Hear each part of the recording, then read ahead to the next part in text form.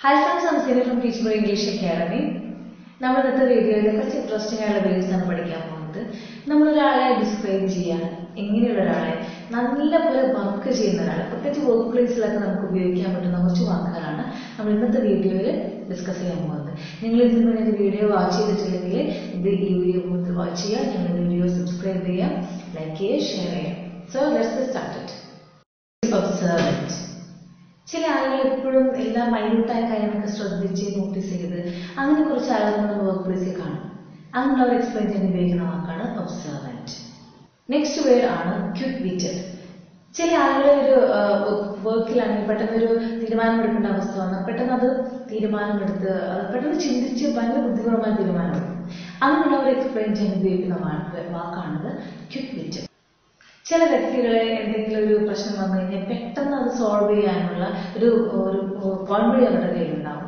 അങ്ങനെയുള്ള ആളുകളെ നമുക്ക് കണ്ടുമുട്ടുക വളരെ വിരളമായിരിക്കും. അങ്ങനെയുള്ളവർ എക്സ്പ്ലെയിൻ ചെയ്യാൻ ഉപയോഗിക്കുന്ന വാക്കാണ് റിസോഴ്സ്ഫുൾ നെക്സ്റ്റ് വേർഡ് ആണ് സെൽഫ് ഡിസിപ്ലിൻഡ് ചില കാൻഡിഡേറ്റ്സ് വളരെ ഡിസിപ്ലിനായി അവരുടെ എല്ലാ ഇമോഷൻസിനും അവർ മിതമായി കൺട്രോൾ ചെയ്ത് ഒരു സ്ഥലത്ത് പൊട്ടിത്തെറിക്കാതെയോ അല്ലെങ്കിൽ ഒത്തിരി ഇമോഷൻസ് കാണിക്കാതെയും ഭയങ്കര ഓർഗനൈസ്ഡ് ആയി പോകുന്ന വ്യക്തികളെ നമ്മൾ ഡിസ്ക്രൈബ് ചെയ്യാൻ ഉപയോഗിക്കുന്ന വാക്കാണ് സെൽഫ് ഡിസിപ്ലിൻഡ് നെക്സ്റ്റ് വേർഡ് ആണ് പ്രോ ആക്റ്റീവ് പലരും വരുന്നത് വരട്ടെ ഞാനിവിടെ വെയിറ്റ് ചെയ്യാം എന്ന് പറഞ്ഞിരിക്കുന്ന ചില സ്വഭാവക്കാരുണ്ട്. അതേസമയം അത് ഒരു കാര്യം വിചാരിച്ച് പെട്ടെന്ന് നടപ്പിലാക്കുന്നവരുണ്ട്. അങ്ങനെ ഏറ്റവും വൈബ്രന്റ് ആയി പെട്ടെന്ന് നടപ്പിലാക്കുന്ന ആളുകളെ നമ്മൾ ഡിസ്ക്രൈബ് ചെയ്യാൻ ഉപയോഗിക്കുന്ന വാക്കാണ് proactive she is a proactive person versatile that means the person can do different things depending on the situation ചില ആളുകൾ ആ സിറ്റുവേഷൻ അനുസരിച്ച് കാര്യങ്ങൾ ടാക്കിൾ ചെയ്യാൻ നോക്കും. അല്ലെങ്കിൽ ആ സിറ്റുവേഷൻ വളരെ ഫേവറബിൾ ആവാൻ നോക്കും. അങ്ങനെയുള്ള ആളുകളെ ഡിസ്ക്രൈബ് ചെയ്യാൻ ഉപയോഗിക്കുന്ന വാക്കാണ് versatile. നെക്സ്റ്റ് വേർഡ് ഭയങ്കര ഇൻട്രസ്റ്റിംഗ് ആയ വേർഡാണ് ഇന്റിവിറ്റീവ് അതിന്റെ സ്പെല്ലിങ്ങും പ്രൊനൗൺസിയേഷനും വ്യത്യാസമുണ്ട് ഇന്റിവിറ്റീവ് ഇതിങ്ങനെയാണ് ചില നമ്മൾ കോമൺ സെൻസ് ഉപയോഗിച്ച് ചിലർ പെരുമാറുമെന്ന് പറയുന്നത്. ചിലർ ഒട്ടും ഇല്ലാത്ത സാധനമാണ് കോമൺ സെൻസ് അപ്പൊ അങ്ങനെ ചിലവരുണ്ട്. വളരെ കോമൺ സെൻസ് ഉപയോഗിച്ച് അവരുടെ ഫീലിങ്സ് ആലോചിച്ച് ഉപയോഗിച്ച് പെട്ടെന്ന് കാര്യങ്ങളെ എന്താ പറയാ കണ്ടറിയും. അങ്ങനെയുള്ളവർ എക്സ്പ്ലെയിൻ ചെയ്യുന്ന പേര് വാക്കാണ് ഇന്റിവിറ്റീവ് നമ്മുടെ ജോലി സ്ഥലത്ത് ചില ആളുകൾ എപ്പോഴും ഫ്രണ്ട്ലി ആയി നല്ല പ്ലസന്റ് ആയി ഗുഡ് മൂഡിലിരിക്കുന്ന ആളുകളാണ്. അവർക്ക് ഒരിക്കലും ഒരു വിഷമിച്ച് ദേഷ്യപ്പെട്ടൊന്നും കണ്ടിട്ടുണ്ടാവില്ല.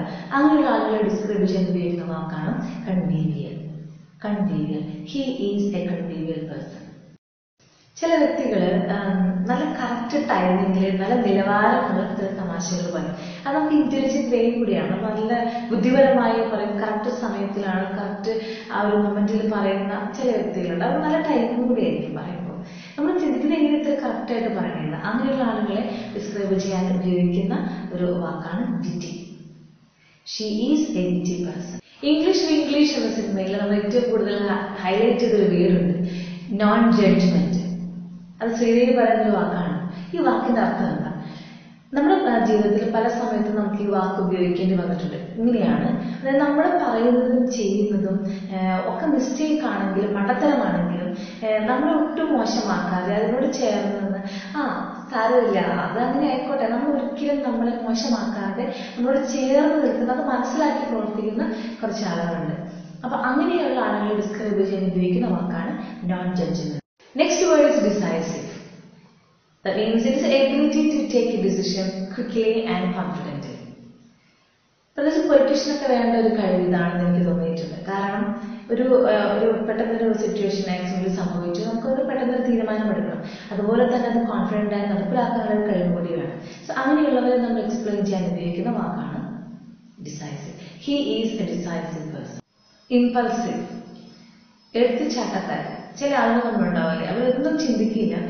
പെട്ടെന്ന് എന്തെങ്കിലും കാര്യം എടുത്തങ്ങ് ചാടും. അത് ഭാവി ഒന്നും കോൺസിക്വൻസ് ഒന്നും അവർ ചിന്തിക്കില്ല. ഇങ്ങനെയുള്ള ആളുകളെ ഡിസ്ക്രൈബ് ചെയ്യാൻ ഉപയോഗിക്കുന്ന വാക്കാണ് impulsive he is an impulsive person നമ്മുടെ വർക്ക് പ്ലേസിൽ നമ്മൾ കാണുന്ന ചില ആളുകളുണ്ട്. ഒത്തിരി ഹാർഡ് വർക്കിംഗ് ആണ്. അപ്പൊ നമ്മൾ ഹാർഡ് വർക്കിംഗ് എന്നുള്ള വാക്കാണ് ഏറ്റവും കൂടുതൽ ഉപയോഗിച്ചു കണ്ടിരിക്കുന്നത് അതിന് പകരം ഉപയോഗിക്കാവുന്ന വാക്കാണ് industrious he is an industrial industrious man or she is so industrious the last word is diligent ചില ആളുകൾ ചില വർക്ക് കിട്ടിക്കഴിഞ്ഞാൽ ഏറ്റവും സിൻസിയറായി മൈന്യൂട്ടായ കാര്യങ്ങൾ പോലും ശ്രദ്ധ വെച്ചുകൊണ്ട് അത് കംപ്ലീറ്റ് ആകും. പറഞ്ഞ സമയത്ത് കംപ്ലീറ്റ് ആകും.